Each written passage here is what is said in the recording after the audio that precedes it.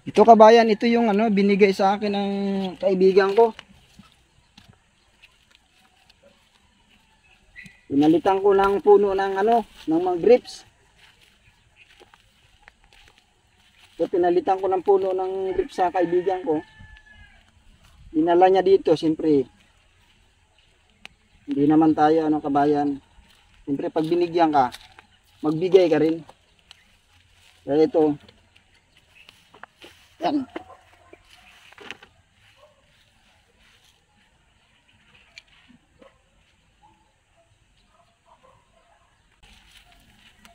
So, kaibigan, ano ba, anong klaseng ano to kabayan? Ah, ano to kabayan? Ah, apple to kabayan. Apple, dinala ng kaibigan ko dito.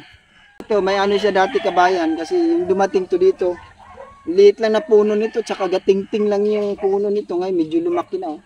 Ngayon, lumaki na siya. So, tuloy-tuloy na laki nito kabayan pag naano to. Pag na alagaan na maayos to. Tuloy-tuloy na laki nito. Lalo ba ganituhin natin kabayan. Ganituhin na natin to. Lalaki na to ng lalaki.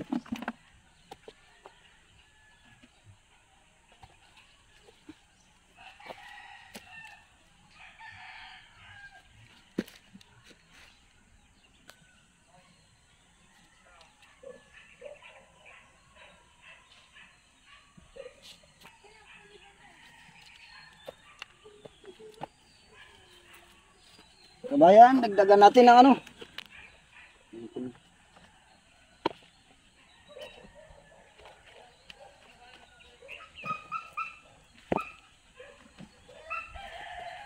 Iba talaga kabayan pag meron kang lumaki ka sa hirap ba? Kaya alam mo na yung mga trabaho.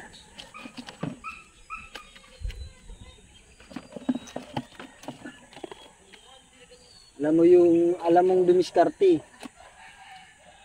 Lumaki ka sa hirap. Alam mong dumiskarte sa buhay. E paano?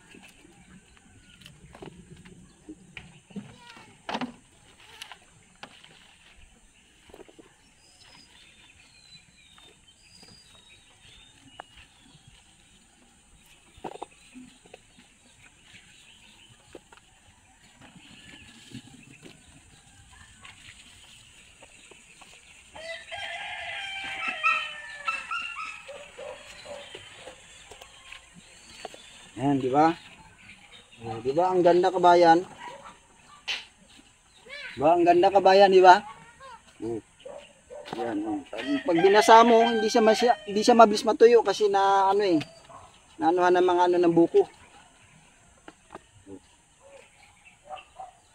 Oh, apple. Napalaki natin yung apple. Sana lalaki siya dito lalaki siya dito hanggat nandito pa tayo sa lupa ito kasi itong lupa na to hindi naman sa atin. Sana abutan pa natin siya na magbunga siya dito. Kung hindi di ah, iba na makinabang. Okay lang. Mahalaga nagtanim tayo para sa kalikasan